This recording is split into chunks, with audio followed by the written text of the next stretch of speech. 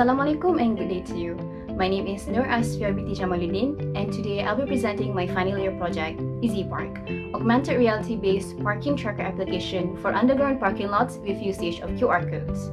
The idea for this application stems from a commonly occurring problem where drivers forget where they last parked their car, especially in underground parking lots where GPS services could not go through. Therefore, to be able to solve this problem, the EasyPark application is created with the combination of three main concepts. First one being indoor positioning systems, which is an alternative to provide location services when there are no GPS services available. Second one being QR codes, which is an effortless way for users to jot down their parking location. Lastly, augmented reality, which will help users to navigate themselves to their parking lot without much trouble. With the combination of these three main concepts, EasyPark is hoped to be able to solve the problem of providing navigation in underground parking lots. Now that we have the general explanation out of the way, I would now like to show you a demo on how EasyPark can be used. First off, we will have to know where we would like to implement this application. Since we are currently under the restricted movement order, the demo implementation of EasyPark will be done in the vicinity of my own home instead of an actual parking location. So on the screen, you will now see a map of a possible parking location. From this map, we can then choose where we would like to set our entrances and parking lots. Say, for example, in this map, I would like to set my entrances at entrance A and entrance B, while the parking lots will be at block 1, block 2, and block 3. After this has been planned out, we can then set up the QR codes that will be the method on how users will be able to save their parking location. Other than that, placement guides will also be set up on the floor of these entrances. After this has been completed, the distance from each of the entrances to each of the parking lots are measured, and this information is then used to create navigation paths in Unity. After these maps have been integrated inside the EasyPark application, we will then be able to move on to using it. Let's imagine the situation and how EasyPark can be used. Say for example, I just got into the parking lot of this shopping mall and parked my car at block 1. What I have to do now is to start the EasyPark application and click on the Save Parking Location button on the main menu. I will then be prompted to scan a QR code that will be available on the nearest wall. After scanning the QR code, the application will then save my parking location and redirect me back to the main menu. I can now go to do some shopping. Three hours later, I'm done with my shopping and I would like to return back to my parking lot from my current location, which is entrance A. So what I do is I open back the application and click on Find Parking Location. I will then be prompted to scan a QR code that will inform the application of my current location. After clicking Find My Car, I will be redirected to another screen where I would have to move the camera around to scan my surroundings. After a few seconds, a placement indicator will appear and I would have to align the green arrow to the placement guide on the floor and click on the screen. After that, a navigation path will appear and I would only need to follow that to get back to my parking location.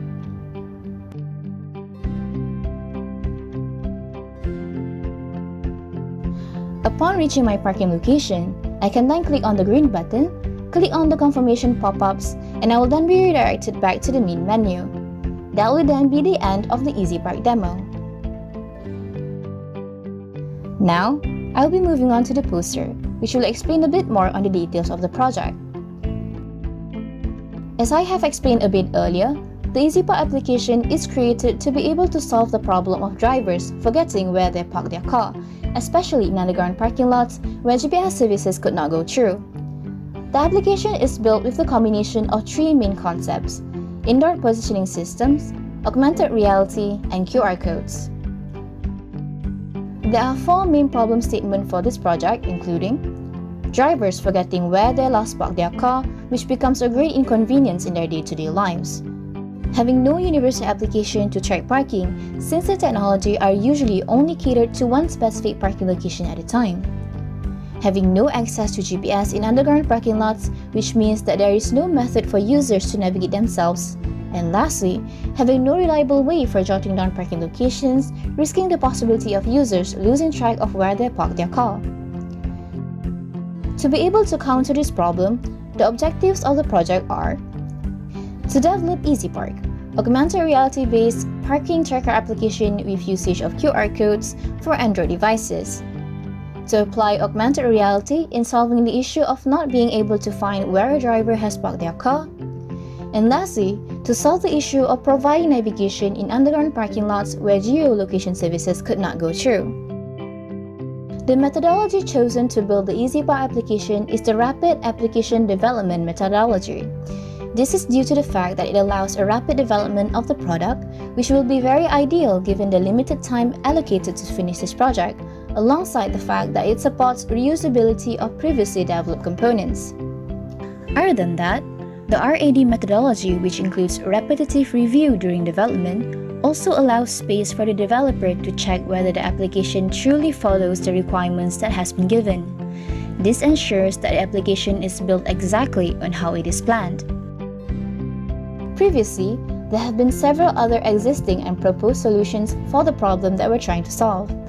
Some of them include applications such as Find My Car Smarter and Car Finder AR.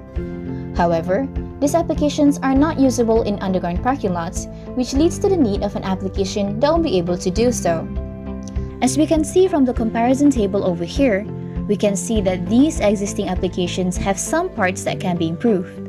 Some of these applications require an additional device for it to work, which can be a bit pricey, while some of them do not have the implementation of augmented reality, which may pose some sort of problem to the user when they try to navigate themselves.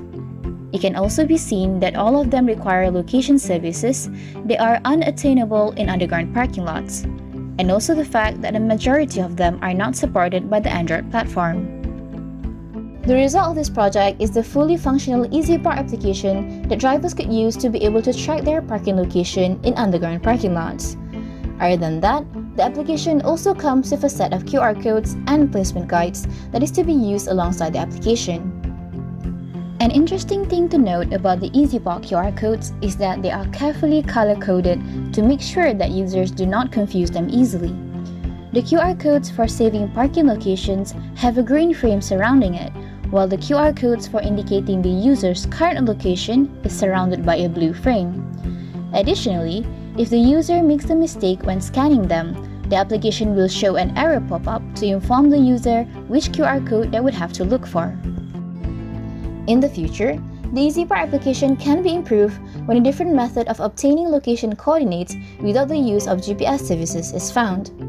It is also possible that it will be a more improved way of providing augmented reality with the development of AR core capabilities.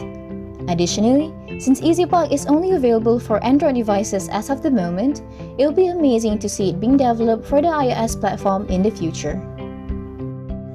In a nutshell, EasyPark is a project that aims to create a parking tracker application for underground parking lots to help drivers find where they have last parked their car.